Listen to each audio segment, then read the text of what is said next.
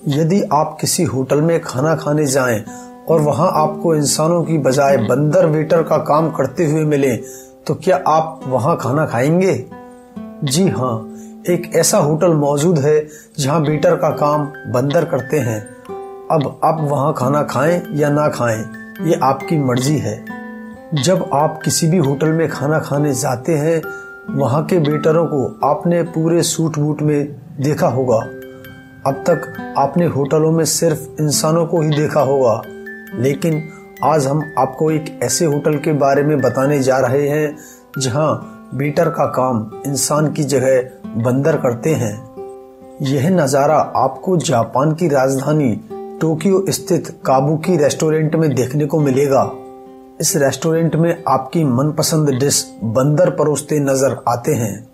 लोग यहाँ खाने से ज़्यादा बेटर बंदर को देखने आते हैं और बंदर बेटरों के कारण यह रेस्टोरेंट काफ़ी चर्चा में रहता है।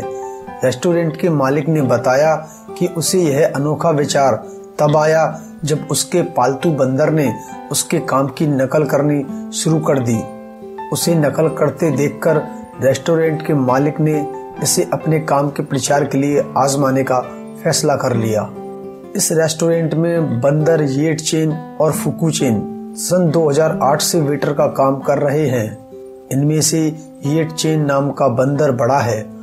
आश्चर्य की बात तो ये है कि ये बंदर ग्राहक को सीट तक ले जाने से लेकर, डिशेज और ड्रिंक सर्व करने से लेकर, हाथ पहुँचने के लिए तौलिया देने तक का काम करते हैं। अनोखे वेटरों के कारण यह रेस्टोरेंट हमेशा चर्चा का विषय बना रहता है। और लोग अनोखा अनुभव करने के लिए यहाँ आते हैं। अगर आपको वीडियो अच्छा लगा हो तो लाइक कीजिए, शेयर कीजिए। और अगर आपने अभी तक हमारे चैनल को सब्सक्राइब नहीं किया है तो रेड कलर के सब्सक्राइब बटन को क्लिक करके इसे सब्सक्राइब करें।